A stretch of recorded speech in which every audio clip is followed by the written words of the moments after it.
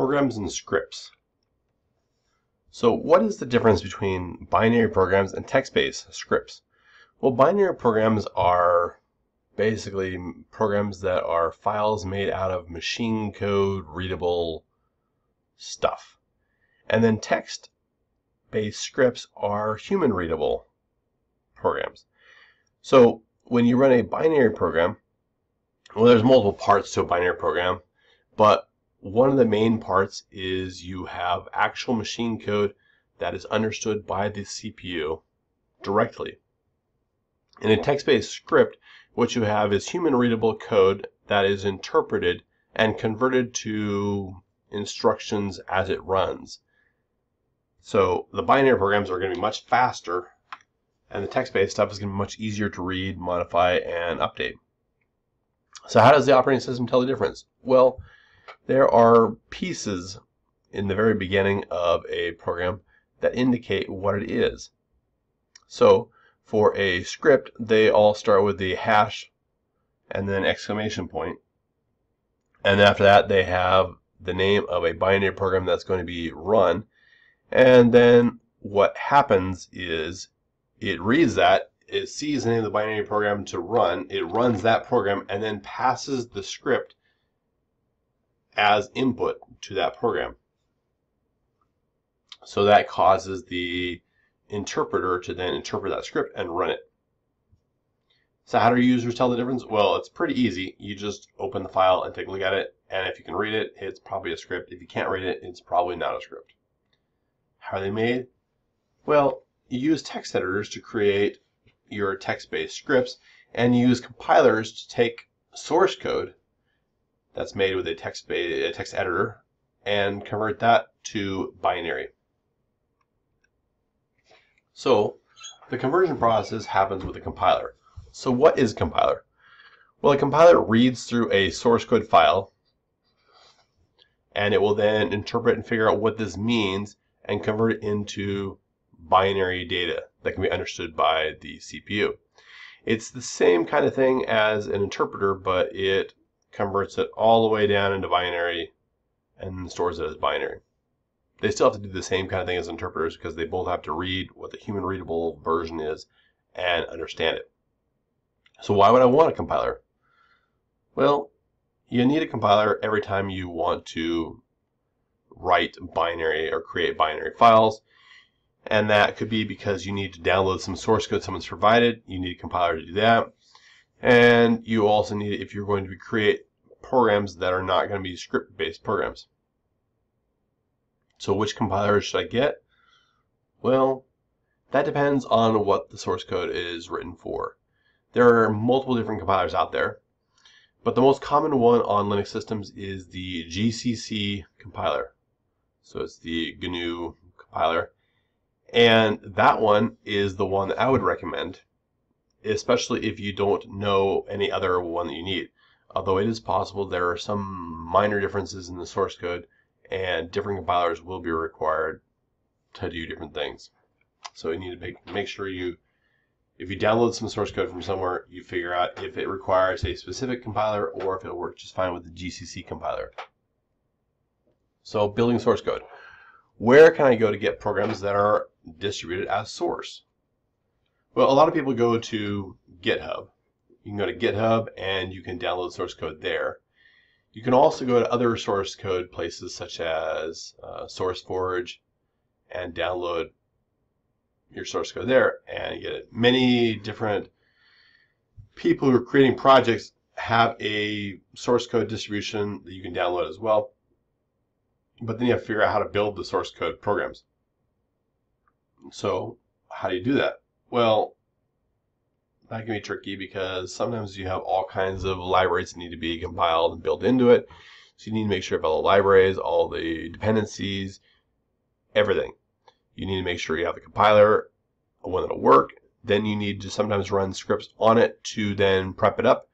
Sometimes there are configure scripts that will check your system and see what hardware, what what packages you have, and then customize your build to use that. Then they have make files. Uh, make files, you run the make command, and that will install all of the, well, it'll build everything according to the makefile instructions. So that seems kind of complica complicated and, and difficult. So why would I want to build my own programs or build them myself? Well, you want to build them yourself because it gets more efficiency or because they are not built or maybe you want to make changes and you can't make changes to someone else's binary very easily. So you need to build them yourself.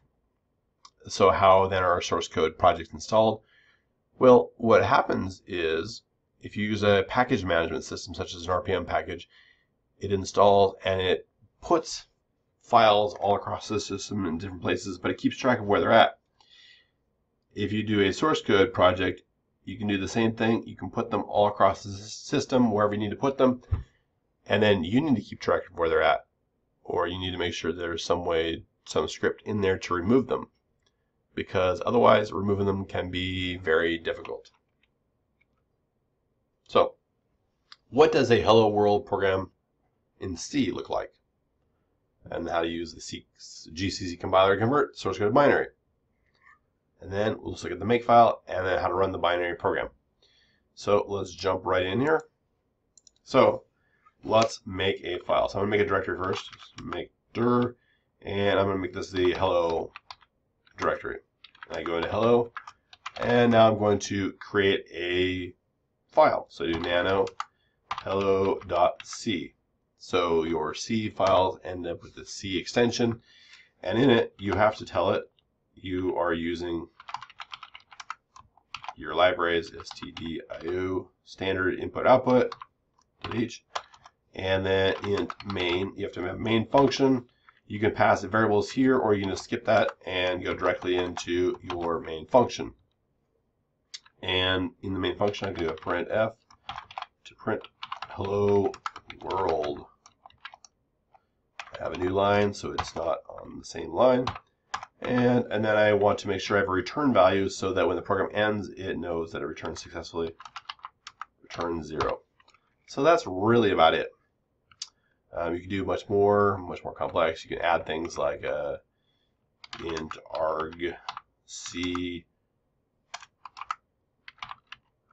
you know, char, maybe star char arg v. You can do whatever you want here, but you pass in variables. Um, Anyway, let's go ahead and save that and exit out. Next, I want to compile it. So I need to use the GCC compiler. If I try running it right now, I don't think I have it installed. And it says command not found. So I need to get my compiler. So I could search for the GNU compiler and find it that way, or I can just do yum install GCC and that will get it right here, get it all installed. Um, and that's kind of quick. The compiler does take a little bit of time. It's a little bit bigger than the average package, but it's not too hard to install. I get installed, and now I can try compiling again. So I do a yum install, actually not yum install, do a uh, gcc hello.c. I take a look at my directory and I can see I have two files now. There's the a.out and the hello.c. So if I do period slash a.out, it runs hello world. If I don't want it to be called a.out, I can change what it's saved as or what it's created as in the command gcc hello.c minus o for output hello. So I want to be I want it to be called hello. So I do that. It creates instead of the a dot out, it creates a hello dot, or just a hello binary. You can see it's the same size as the a dot out. If I run hello, it runs. And the way to run it is because the current directory is not my path, I have to tell it a relative location, which is the period directory's current directory slash hello. So then what's this whole thing about make files? Well, if I do a nano make file, I can go down here and I have my hello. In order to create hello, I need to make a hello dot, I need a hello.c file. And every time hello.c changes, I want to run this command right here, which is gcc hello.c minus o hello. I can also have another option here, so a clean maybe. And I'm going to do remove hello. So it removes the hello binary. Exit out of that. So I'm do a make, and it says hello's up to date. I do a make clean, and it removes the hello. So do a ls minus l. I can see that hello dot c is there, but hello is not there. So then I do a make again, and it compiles my hello program. So that's how I convert my source code into a binary file using GCC and also using a makefile. Gives you a bit of an idea how it all works. Alright, how to run the binary program? Well, you want to make sure you tell it which directory it's in, and then you run it. So period slash the name of the binary program. So what does a hello world program look like in Perl, Python, or Bash? Let's go back in here and take a look at each one of these. So Perl, it uses the Perl executable. So if I do which Perl, I can see it's in user bin Perl. Now, a source code file, a Perl usually has a PL extension. So I do nano hello.pl. I want to tell it right here to use user bin Perl, use that binary, and then when I run it, I want to do a print, and I'm going to do hello world world, and then a new line, and a semicolon afterwards to print hello world. This right here basically it runs with this uh, stuff in the beginning. It says, okay, this is a script. I'm going to run this program, and I'm going to pass it this entire thing as the input. So exit out, save that. Now, I can see that the permissions are not set to executable on this PL thing, so I need to set them to executable. So do chmod 755 hello.pl, and then I do period slash hello.pl and oops, pl, and that runs. Now let's try it with Python nano hello.py. This one's a little shorter. Well, not shorter. User bin Python print hello world world. You don't need the um, new line character, and you don't need the exclamation and the uh, semicolon at the end either. This will just work like this chmod 755 hello.py, run that. Hello.py, and that runs. Now, bash or shell scripts. Use the echo command. So I do nano. Hello.sh, and I don't need to tell it an interpreter. I could, I don't need to, because it'll just assume if it's a text file, it's got to be run as a, well, as a script. So do echo hello world, and that's it. So run that. Oops. H. Hello dot hello o.sh, and that runs. So those are your shell scripts. You can see how they look. Um, the shell script could be done uh, as a, I could actually pass it the bash if I wanted to. So do which bash, which is user bin bash, and then do nano on my hello sh, and I can put that line at the top user bin bash and it will run the same.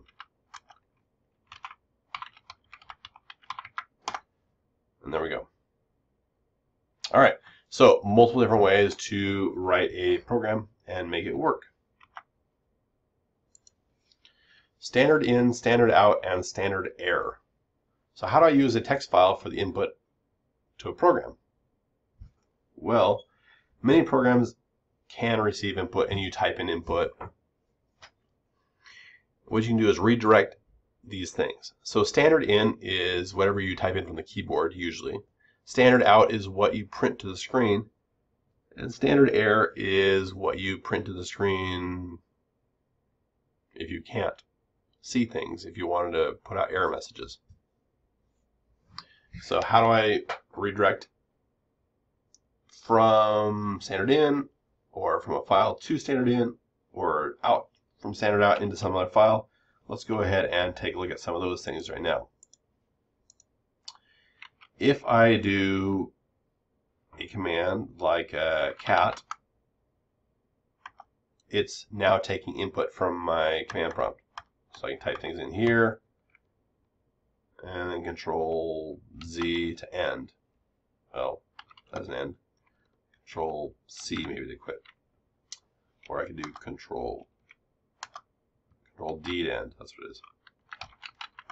What I can do is do cat, then redirect from output, or redirect the output into this new file.txt, and then I can type in things right here like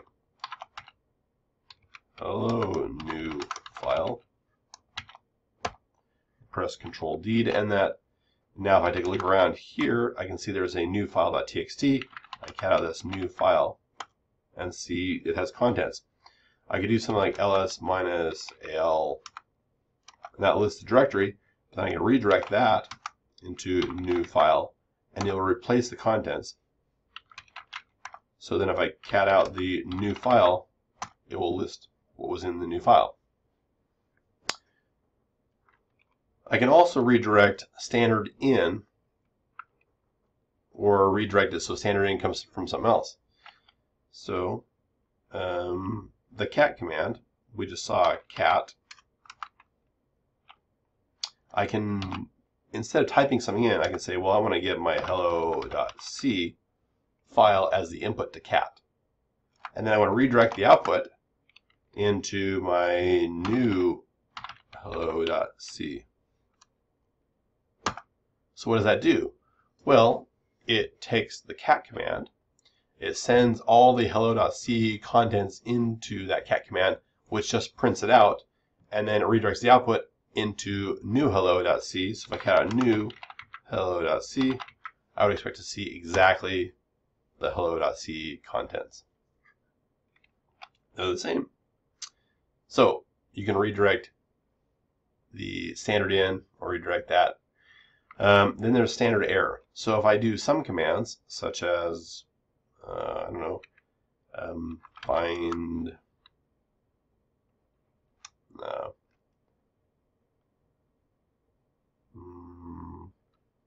if I do ls minus al dev,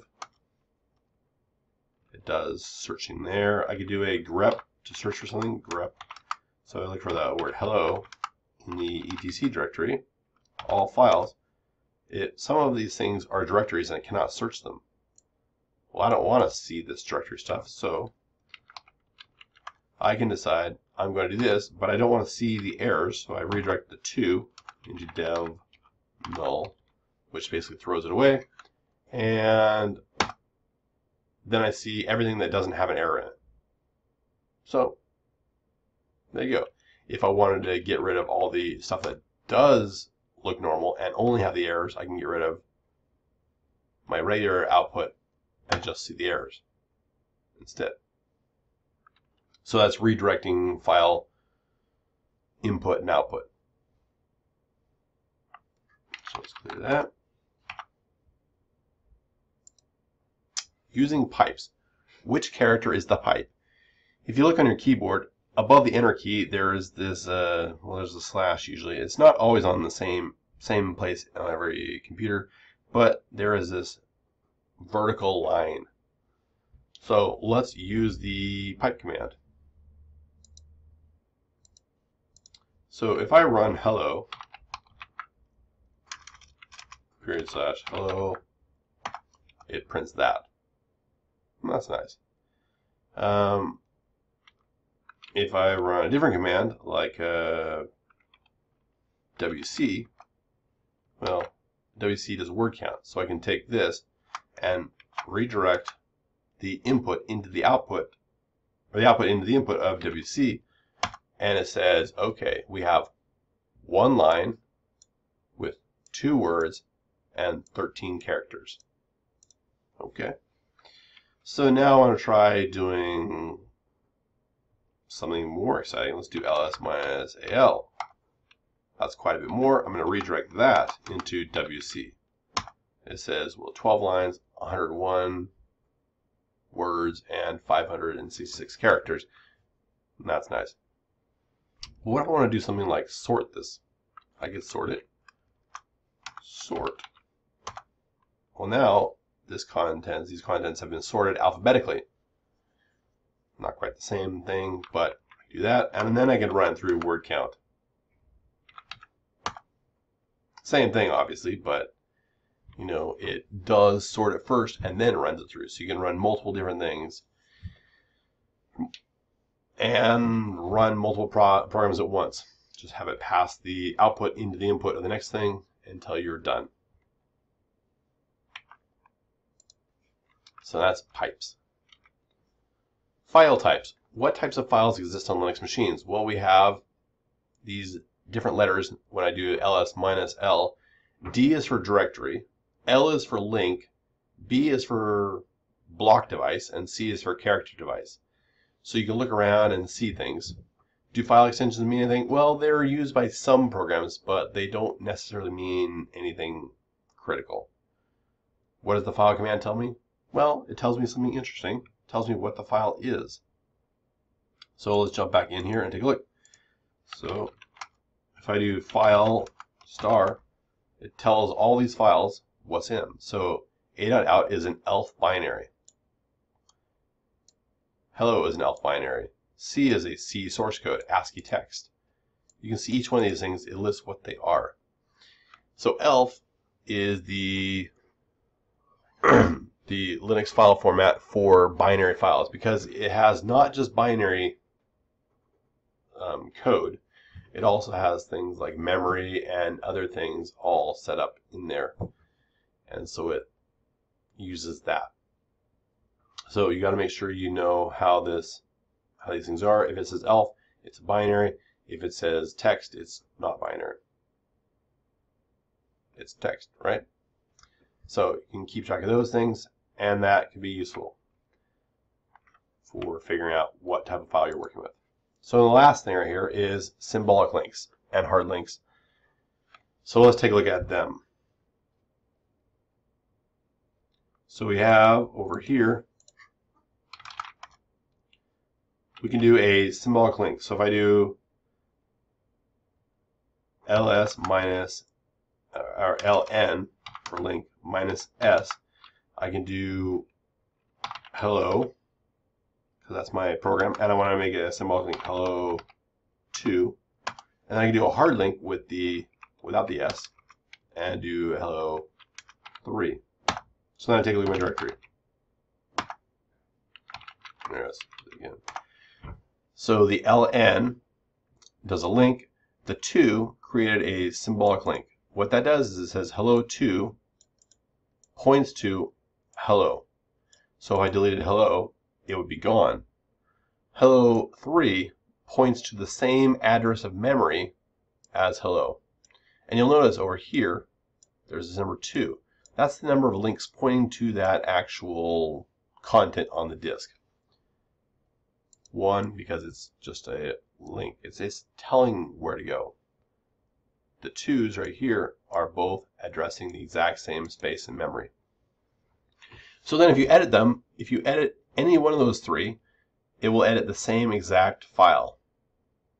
However, um, some editors, when they make file changes, will save a new file and then move the new file to replace the old file. So keep that in mind. When you want to unlink them or delete them, you can do um, either delete or remove, or you can do unlink. So unlink hello, and I look at my directory listing, and I can see that now the hello 2 says, oh, there's no hello. But hello 3 is still fine because it points to the memory. And the number 2 has decremented down to 1. So the hello 2 doesn't work, but the hello 3 still does because it pointed to the actual program. And then you can go and remove or unlink things like hello All right, so that's your symbolic links. And I think this helps you get an idea of how programs and scripts work on Linux systems. And that's it.